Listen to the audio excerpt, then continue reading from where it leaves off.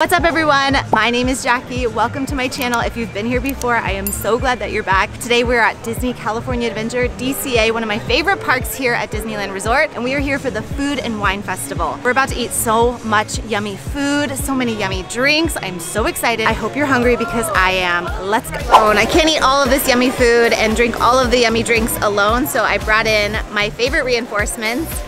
I've got my oh. sister, my sister Jessica and her husband Tim. We're gonna romp around this park. We've got no kids today. I'm so pumped. So we just got here. We made it for rope drop. So we're kind of hanging out in Carthay Circle and it is beautiful. There's flowers blooming. Everything just looks gorgeous so cool. We're standing here waiting for the park to open. We're here during spring break, so it is crowded. But there was a really sweet Disney Photo Pass photographer hanging out and she asked take our picture. And we just had like a little mini photo shoot and here are some of the photos. If you ever come across a Disney PhotoPass photographer, you have to get your photos taken because they always do fun magic shots. You always ask for the magic shot. I don't know, it's just fun memories. It's really cool. It's always so fun coming during rope drop. You can get a lot done right when the park opens, but also it's a mad dash to get to your first attraction. Looks like everyone's headed over to Avengers Campus to get on Web Slingers or Incredicoaster or Radiator Springs for Radiator Racer. Those are the hot rides. My sister and I are about to get on Guardians of the Galaxy. I have a love-hate relationship with this ride. I absolutely love this ride, but I also hate it at the same time. It's like a free-for-all, up and down, up and down really fast. I have to like mentally prepare. It's gonna make my stomach feel a little wonky, but good thing we're riding it before we eat a bunch of food. Scan complete. You may now enter the gantry lift. Has got to be one of the coolest rides. It is so nerve wracking every time, even though I've been on it a handful of times. It's just like a free for all. It whips you all the way to the top and then drops you and it does it like five or six times. The best part about that ride is that it plays a different song each time. This time we got Born to be Wild, which was so fun. But now I feel kind of like wonky a little bit. It'll wear off soon. Now it's time to eat. I need something to settle my stomach. okay, we've got the lemon raspberry churro. This was right outside the Guardians of the Galaxy ride at the Terran Treats Cart. This looks delicious. Whoa. I think it's good. I need a napkin. Look at that. It's like bright yellow on the inside. It's very lemony, a little tangy from the raspberry, and it's got like these pie crust pieces on top. This is fun. I think my favorite part is the marshmallow frosting. Mmm. This is good. Okay, my brother-in-law is gonna try the churro. Oh. My sister doesn't even want to touch it. Oh, thank you. Honest opinion, what do you think? Look at this tannins going. It's very lemony. I like it. I like lemon pie. Raspberry, nice uh, combination to it. Good, right? Yeah, it's really good. I don't like sweets. It's good. I'm gonna take another bite. I want to bite with the pie crust on it. Here we go. mm, listen, you can't go wrong with lemon and raspberry together. Those flavors are so good. And I've also never met a churro I don't like. This is good. We had a little snack, which was 10 out of 10. I loved that churro. And now we're gonna go into Animation Academy and see if we can draw a Disney character. This is one of my favorite things to do at DCA. An Imagineer gets to teach you how to draw a character and it changes all throughout the day. It's so fun. My sister's so excited. Who are we drawing today? Jack Skellington. Jack Skellington. I've only done Sully, Lightning McQueen, which was my favorite, and Pluto. I've done Baymax and Olaf, and now we're gonna do Jack Skellington. So much fun.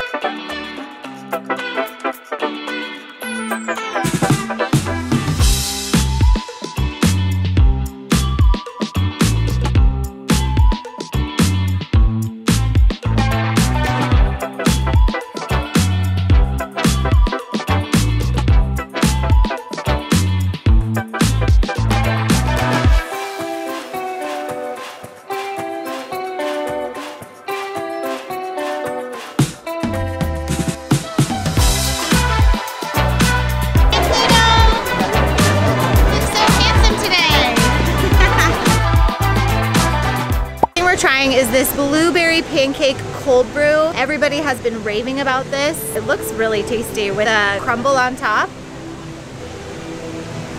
Woo! That is good. It definitely lives up to the hype. You can taste the pancake. It tastes like pancakes.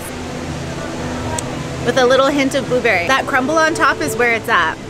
Starting off strong, this is good. Yum. Okay, over at the Golden Dreams booth, this item is the elote paleta. It's sweet corn popsicle with sour cream and Tajín on top. This has been getting mixed reviews. A lot of people don't like it, so we had to get it just for science. Here. science. It's like savory ice cream.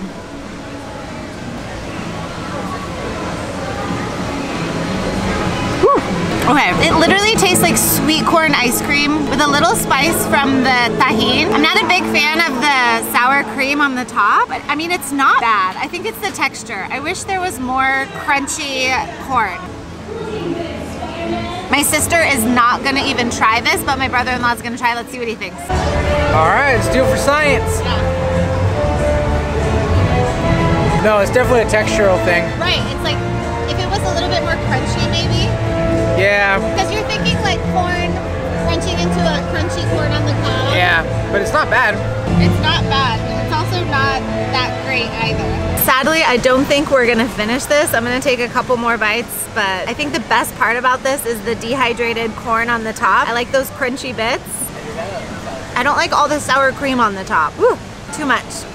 this is a pass. Pretty.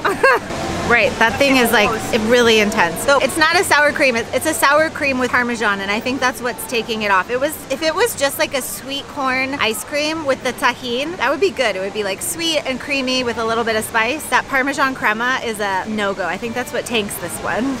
Over at the Garlic Kissed booth, probably one of the tastiest booths. We got the grilled top sirloin with Gruyere mashed potatoes. Ooh. That is good. What is that? Ooh, it's like a garlic chimichurri. The best thing about that is the cheesy mashed potatoes. So good. Next up, I feel like they have this every year. It's the mac and cheese, garlic mash, mac and cheese with bacon. Yum. You can smell the garlic.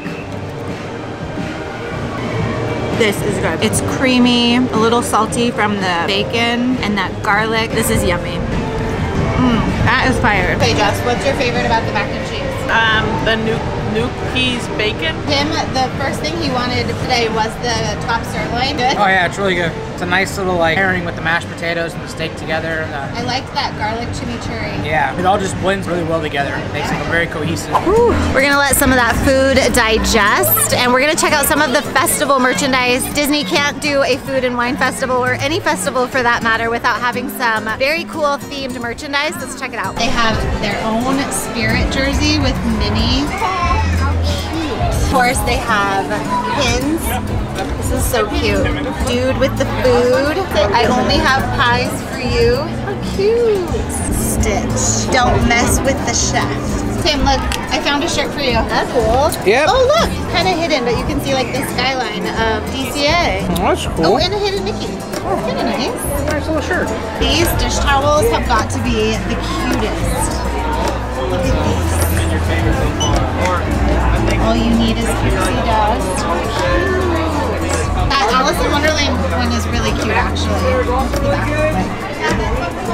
Cute. They're representing Orangebird, Tiki Room. They've got Persicle mug, um, egg like that. of course, they have specialty themed ears. Cute. There's like a hidden Mickey with the blueberries. Or wait, no, that those are blueberries. They're grapes. Cute. With a little chef hat. Salt and pepper shakers that look like the trash cans. Wine glasses. Oh, more dish towels. Look how pretty these are. Oh, three amigos. I know, I love that smell. That's so cute. Kidding.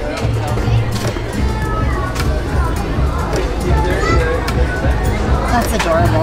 They did a good job with that merchandise. I am obsessed with those dish towels. I feel like I want every single one and then I would never use them. I would just like leave them as decoration. Very cute. That is really green. Over at the California Craft Brews booth, there's a ton of beer selections. There's also sausage on a pretzel roll. But we got the Aurora Borealis, which is a honeydew and lime seltzer. And it's very green. I don't know if you can tell in the video. Let's give it a shot. Ooh, that tastes like a Jolly Rancher. Oh my gosh, this is good. This is a beer? Or no, this is a seltzer. This is a seltzer. Yum. This is good. I would totally get this again. I got the best brewery in Inglewood, Crowns and Hops, Dopest IPA. Friday beers. Cheers. What do you think? It's fantastic. They're my brewery of the year every year. So my brother got the Aurora Borealis. Aurora, why can't I say Aurora that? Borealis. Aurora Borealis. And what do you say the best part of it is? It's 8% 8% alcohol? and a seltzer. It tastes delicious. It does taste really good. All right, let's see what else we got. Over at the Cluckadoodle Moo booth, there is a, a Chipotle Pineapple Bourbon Sour. Look how pretty this is with the pineapple. Ooh. Ooh, it's like sweet, and then the Chipotle hits you in the back of the throat. That's really good. I love a good sweet and savory flavor combination. This is also really refreshing with the pineapple. Jess, you were right. This is good. And then you pair it with the wings. This is really good. And then we're gonna pair it with these dry rubbed wings. These wings are a honey habanero dry rubbed wing. Oh yeah. Ooh, another sweet heat. These are good. Ooh, those wings were so spicy. That heat is like lingering in my mouth. It was sweet, but really spicy. My only complaint with those wings is that they weren't like crispy. I love good crispy wings, so if they were crispier, I would have liked them a little bit more, but the flavor was really good. I feel like I have stuff all over. Also, I'm so full.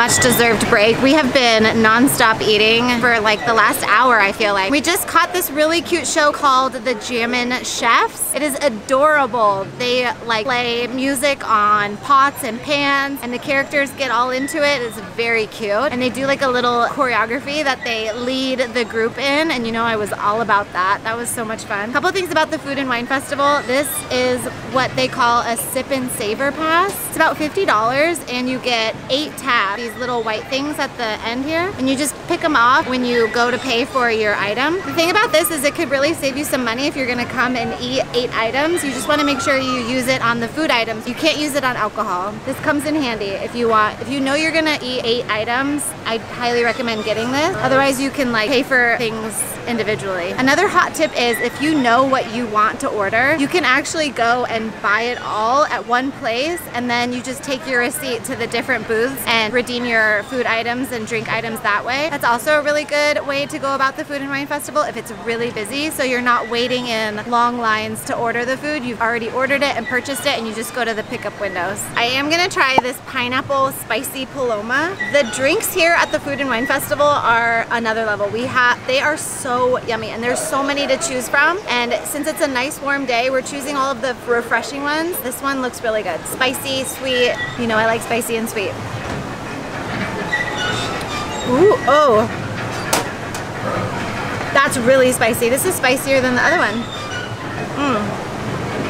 This tastes like pineapple juice with a little kick of heat at the end. This is dangerous. Like you could drink this as regular pineapple juice and it'll get you at the end. This is good. Another fun thing, if you're gonna come to the Food and Wine Festival and do it the proper way, you get one of these Food and Wine Festival passports and inside they list all of the items, right? And you see those like gray dots there? You can get a stamp so that way you can keep track and stamp your food passport every time you visit a booth. I have yet to ever do that because I don't get an item from every booth, but this is always fun. If you're if you're a big foodie, this is a fun way to go through the whole festival. The Food and Wine Festival is so fun. It's such a fun time to visit the parks. It's springtime, it's warm, but with like a nice breeze today. It's awesome.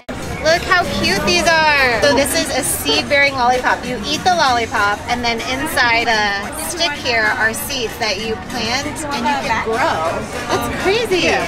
My mom would love these, so we're getting her a pack. This one would be good too. The grapefruit and hops. Oh, yummy. Oh, so it's hot. There's also champagne and roses. Okay, this is a flowers and bees cocktail. So it's a gin cocktail with elderflower liqueur. Let me see. Ah. Okay, no. It tastes too florally, like soap. Well, it's got lavender hibiscus in it. Oh, it's got lavender. That's the soap I taste. Um, I'm gonna hand this off. This isn't my jam. Sorry. Oh, I love it. It's like drinking potpourri. Grandma's potpourri. It's got a purple pansy on it. It does. That's actually really cute, but the drink itself. It's delicious.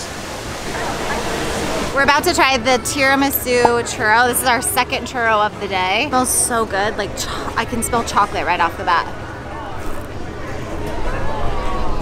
Ooh. Oh my god. It's like a coffee glaze. Yes. Oh my god. It's chocolatey. You can taste the coffee. It's soft but crisp on the outside. Yum. This is good. I'm trying to think. I need you to taste it so we can see which is better, the lemon raspberry churro we had earlier or the tiramisu churro. If I had to choose, I would go with the tiramisu churro. This is good. If you love coffee and chocolate, you're gonna love this tiramisu churro. Ooh, and it's nice and warm too. What do you think? That is good. It's good, right? Yeah, it really captures that tiramisu essence, but like deconstructed. Right? I think it's because of that coffee glaze. You could totally Yeah. taste the coffee in that glaze. Yeah, that's really, really good. Okay, so which one's your favorite? The lemon raspberry? tiramisu. The tiramisu? Huh? I love tiramisu. Yeah, me too. All right, to wash down that tiramisu churro, I stopped and got the watermelon punch. They say on the menu it says Korean style watermelon punch with Sprite and oat milk. And I thought it would be good, but once I saw it, it's like kind of separating, so I have to stir it and drink it at the same time. Oh. Okay, we might have to get another refreshing beverage because this is not it. I'm so sorry. I thought I would like this, but I think it's the texture. You can taste, there's like floating watermelon in here and then the bubbles from the Sprite with the oat milk. Mm, I don't think I like this. Give it another go. Okay, yeah. I don't like the, I don't like the chunks of watermelon coming up through the straw. I don't know. This is not it. Dang it, I thought this was gonna be good. you have to taste it. No, Are you serious? Yeah. You won't even taste it? no. Why? What throws you off? Everything about it. Okay. Okay, Tim, you gotta taste it. Ooh, pink, my favorite color. Watermelon punch. All right, see. Watermelon Sprite oat milk. Yeah, it's definitely punchy. It's zingy, right? I I'm, don't I'm not mad at it. I don't really. Not mad at it. I mean, it's got like a little bit of creaminess to it, but it's got the Sprite that has a little bit of like the uh, Bubbles. bubbles. Yeah, like carbonation to it. I like watermelon, so I mean, it tastes like watermelon soda. Yeah, that. I guess you're right. It does taste like creamy watermelon soda, but I don't know. I wouldn't say it's refreshing.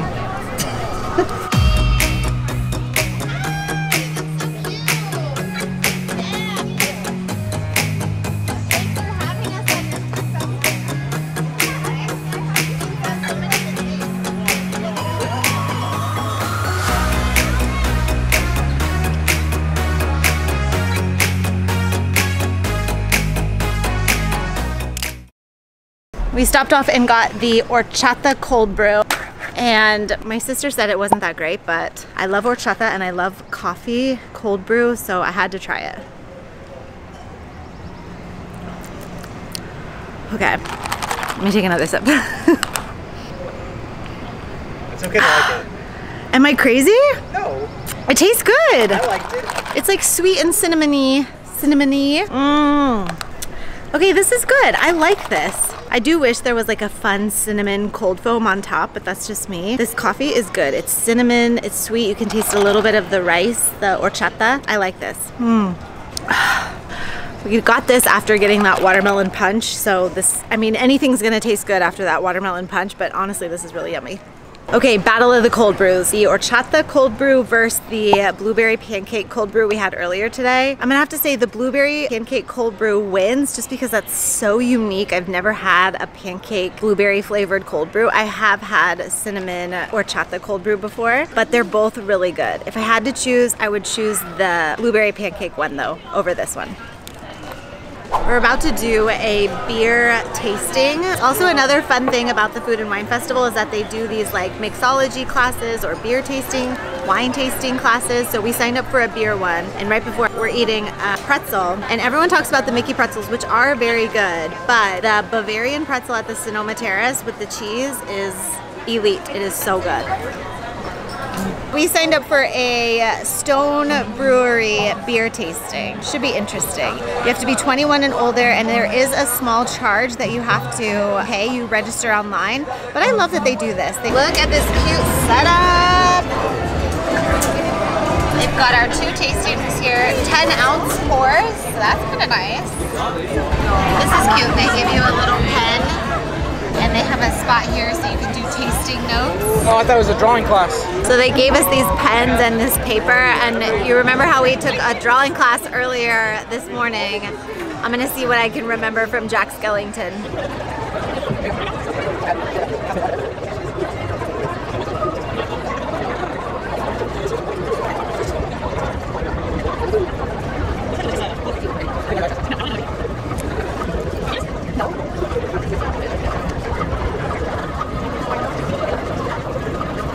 Bro, That's pretty good.